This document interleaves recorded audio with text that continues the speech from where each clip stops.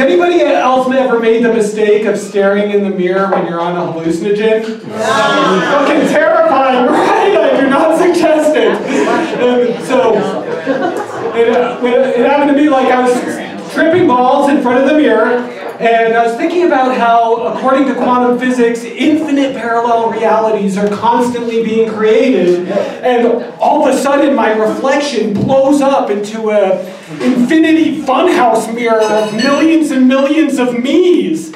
And every possible version of myself is rotating through the mirror like...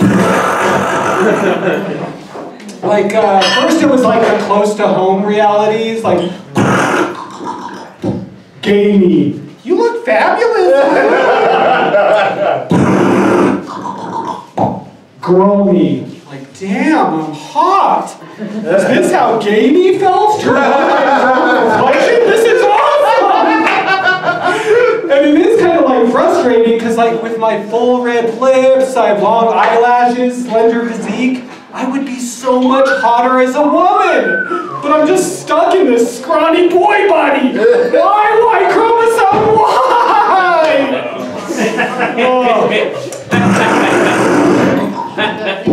Latino me. And Latino me much more suave than American me. Like, hola, señorita, mi nombre es Aaron. Like, my name alone is so much cooler in Spanish. Instead of Aaron, it's Aaron. It's like, it's like a race car speeding off the starting line Aaron. So cool. and, uh, the worst way to pronounce my name is the way my Jewish mom from New York pronounces it, like Aaron. And uh, when she used to scream my name as a kid, it would just like pierce fear into the deepest regions. Aaron! It's like a fucking hawk descending for the kill, you know? Terrifying.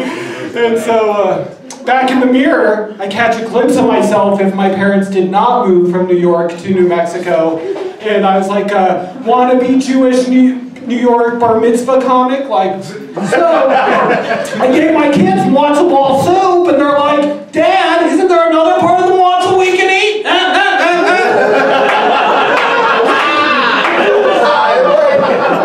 then the mirror started getting super fucking weird, okay? Post-apocalyptic me with my daughters on my shoulders like, We're bitches!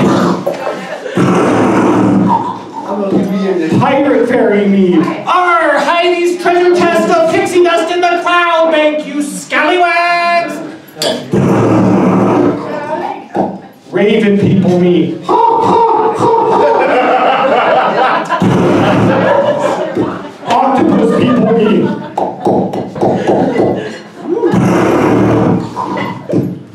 Mushroom me, who just ate humans to hallucinate, and he's as surprised to see me as I am to see him.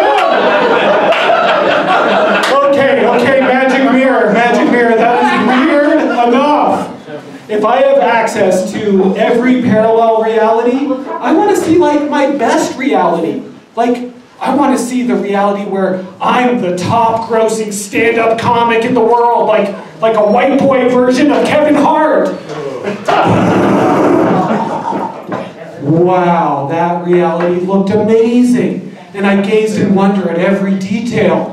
And I could have just like taken inspiration from it and moved on, but it was way easier just to go through the looking glass and kill and replace myself in that reality.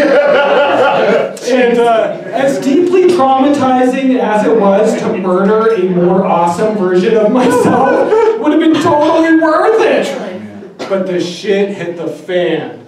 See, the problem is that there's infinite parallel realities. So there were a ton of other Aarons who were also tripping in front of the mirror and had the same idea. So I don't even think I stole that reality from its original Aaron. Because like as soon as I murdered myself, a whole horde of Aarons descend on the reality trying to kill me and each other. Fucking terrified. Uh, I quickly ruined that reality for all of us. I hate myself. Oh. And uh, that, that this whole experience will be forever known as the Great Me War. and I'm just happy to be alive. So I retreated back to this mediocre but peaceful reality, you know, where you know instead of instead of performing for a whole stadium, I just have this nice little open mic that none of my other me's are willing to murder me for. So thank you, Wayward Comedy. You saved me from myself.